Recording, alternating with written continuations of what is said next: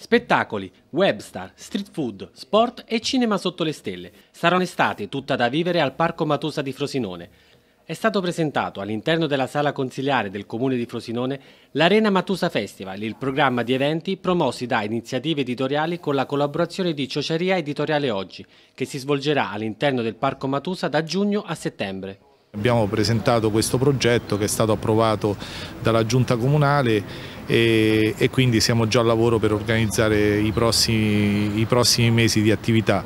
In particolare questo Arena Matusa Festival eh, che sono in realtà sette manifestazioni strutturate in un calendario ufficiale e poi tutta una serie di manifestazioni che si aggiungeranno da qui fino alla fine dell'estate. Eh, si aprirà il 14 giugno con il Parco delle Meraviglie e con eh, i Follower Days. Si proseguirà con tutta, tutta una serie di attività, eh, partiremo con eh, il Pizza Village eh, in programma a fine giugno, poi ci sarà una grande festa della birra, tutta birra, dopodiché ci saranno due manifestazioni che abbiamo ideato, la prima è il Matusa Sport Village in programma a metà settembre dedicato allo sport, si chiuderà con il Motor Passion, una manifestazione eh, che come dice il titolo è dedicata al mondo dei motori.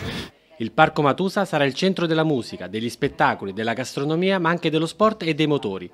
Un luogo dove sarà possibile incontrare webstar come Favi J e Matte Bise e poi assaporare le eccellenze gastronomiche con il Ciociaria Street Food semplicemente un posto dove incontrarsi e divertirsi al centro della città. Non è soltanto un parco, ma diviene quella grande piazza che mancava da oltre un secolo in città. Eh, trasformare quello che era un vecchio paesone in una città significa soprattutto riportare la gente a incontrarsi.